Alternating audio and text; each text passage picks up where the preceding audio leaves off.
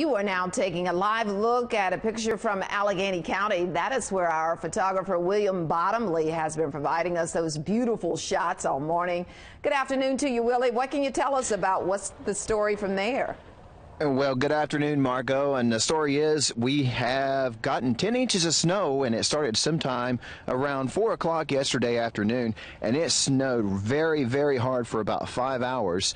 And the roads uh, got very slick during that time, and the snow continued to pile up. But the road crews continued to work overnight, and they have done an excellent job of making sure all the roads have been cleared from, uh, from the snow and the ice. But one thing to keep in mind is that all of the melting of the snow today, it will refreeze once uh, again once tonight when the temperatures drop below freezing later on this evening. What about trouble spots, Willie? Have you run into any of those around there or heard of any?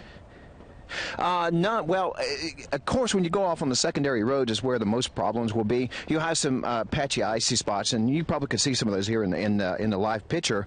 But for the most part, the main roads are mostly wet at this moment. All right, we had quite a few crashes here in the Piedmont uh, Triad. What about up in the mountains? Uh, none that I know of. Uh, usually, people stay off the roads and uh, and and until they can get to a point where they can get out and go to work. But for the most part, they're in their four-wheel drive vehicles, and it, driving in snow or ice is something they've grown accustomed to up here, being in the higher elevations, and it happens more frequent. Well, it looks like you got enough for a snowman where you are. Uh, yeah, I know. I need to practice my snowman making skills, and and uh, let's see if I can get my little seven-year-old to participate with me this afternoon. All right, good deal. Thank you, Willie. We appreciate it.